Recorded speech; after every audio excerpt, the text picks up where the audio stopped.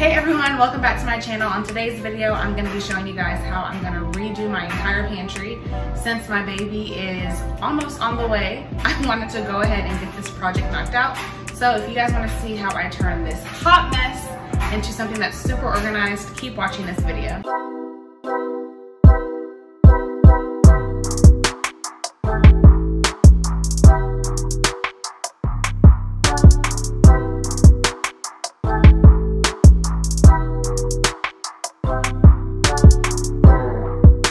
This is the before of the pantry.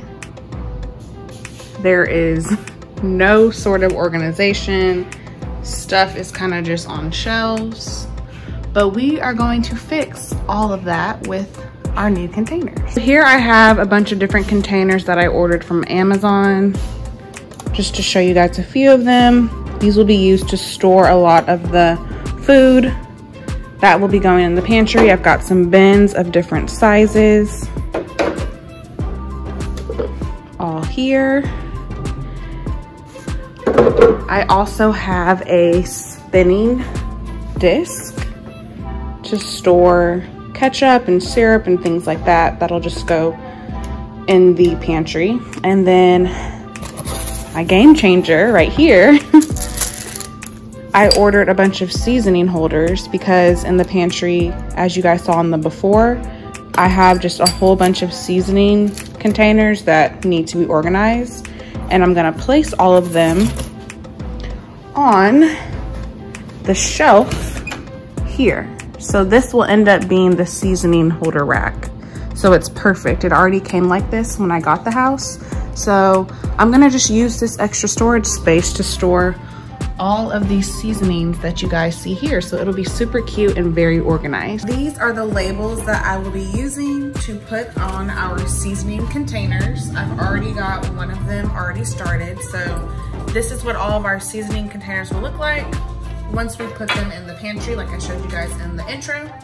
So I'm just gonna, ugh, cannot talk. I'm just gonna take the old paprika seasoning container, open that up, and we will pour it into the new container, if I could get it open. Now we've got it open and I'm going to be using this contraption here that came in the set. It makes it so much easier to pour. We're just gonna pour the seasoning on in there.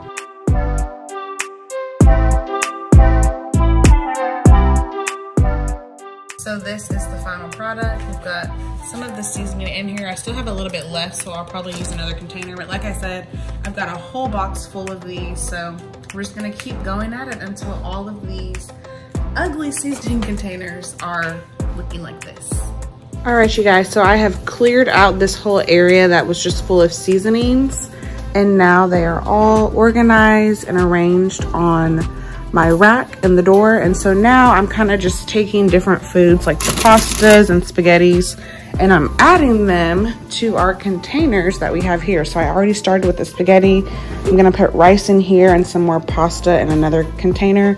And then I'll just continue this process until we get to the packaging goods that we'll put in these containers over here.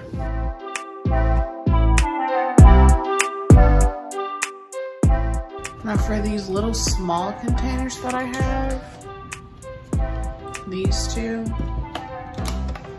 I'm probably just gonna fill them with like extra pasta because these are too small for like sugar to go into. So I'm probably gonna order another set of these just because these hold more space. So again, this set is from Amazon. It comes with seven containers. I'm gonna order another set just because I have more items that I would want to take out of their packaging to put in these containers. But for the most part, as a starter point for me, as I get my pantry under control, this works great. So now we're gonna move on to the part where I take out the packaged goods and start putting them in the containers that I showed you guys in the beginning. So this is kind of what I'm working with right now. I've already got this shelf arranged. I ordered this disc spinner from Amazon. I'm probably gonna get another one of those just to hold the different oils and I'll put that on this top shelf and the spaghetti will also go on this top shelf because it's too tall to fit anywhere else. And then I've just started putting the containers down. I'm gonna order two more of this size containers to go right here. But now I'm kind of just getting everything out, throwing away anything that's old and expired, and really just, you know, getting organized before I put everything in the container racks.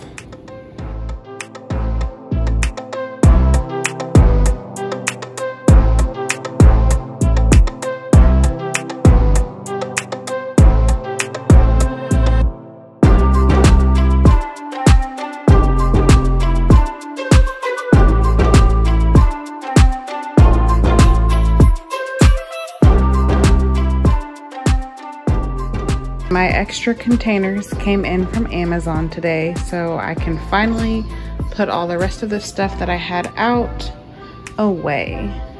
So now that's what I'll be working on. And then I ordered two more containers on the bottom shelf, and so we'll put all that stuff away too. And then we'll just keep storing and organizing everything until the pantry is all nice and neat.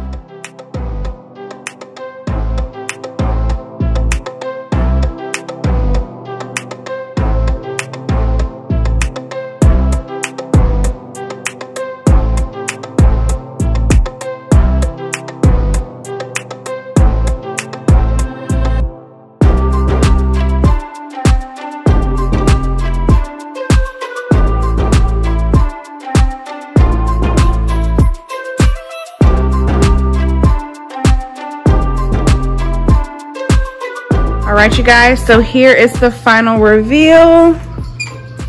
Voila! Pantry is now organized. This rack, it's actually a shoe rack. It just came in today, so I used it to put some extra things on that just wouldn't fit on the different shelves. But yeah, this is my new and improved organized pantry. I love it, especially this like spinning rack. Like it makes it so easy to get to all your different condiments that you need. I have a second one, a second one up here. And yeah, this is the whole thing, you guys. Took me three days to finish, just waiting on different Amazon shipments to come. Princeton loves it. Right, Princey Pooh. all right you guys. Well again thank you so much for watching this video. If you have any tips of how you organized your pantry comment them below and i will see you all next time. But don't do it. It's not worth it. I'm not gonna do it girl. I was just thinking about it. I'm not gonna do it. I did it